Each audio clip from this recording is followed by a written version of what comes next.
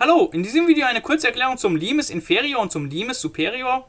Was heißen die eigentlich? Einfach ganz ein, eigentlich ganz einfach, ne? der große und der kleine, Entschuldigung, der kleine und der große Grenzwert. Bei mir wurde das Ganze mit, Achtung nicht erschrecken, dem Häufungswert äh, definiert. Hier unten habe ich mal die Definition, die in meinem Skript steht. Und es war irgendwie, ja, es finde ich irgendwie ein bisschen schwierig. Warum muss es denn der kleinste Häufungswert sein? Warum muss es der größte Häufungswert sein? Ich finde, man kann sich das ganz einfach an einem coolen Beispiel äh, überlegen.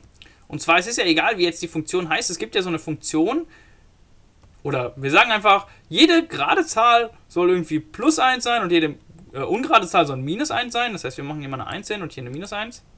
Soll natürlich 1 heißen. So, das heißt, wenn wir das jetzt fortführen, dann sind das hier immer so Punkte. Ich mache zwar jetzt Striche, aber das ist nur, weil es dann besser, schneller geht.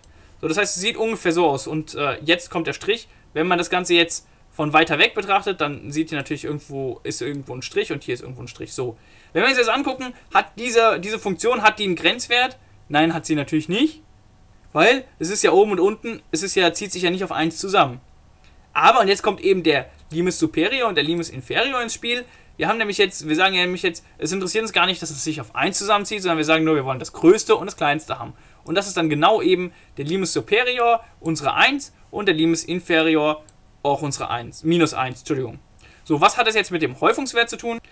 Ganz einfach gesagt, um das hier auf unser Problem zu mappen, ist einfach nur, dass es in diesem Bereich, also um die minus 1 rum, unendlich viele Folgeglieder geben soll. Das ist in diesem Fall gegeben, weil wir sagen ja, was habe ich schon am Anfang gesagt, jede ungerade Zahl ist minus 1. Und es gibt ja unendlich ungerade Zahlen. Und es gibt auch unendlich gerade Zahlen, das heißt, es wird unendlich sein, die auf der minus 1 liegen. Und es wird unendlich sein, geben, die auf der 1 liegen. Und lasst euch dabei von, falls ihr sowas ähnliches habt, nicht von so Sachen wie der Epsilon-Umgebung abschrecken. Habe ich auch schon mal drüber was erzählt. Das ist im Grunde nur, ja, ja, da um den Punkt liegen halt ganz viele, da häuft sich so ein kleiner Berg hier an.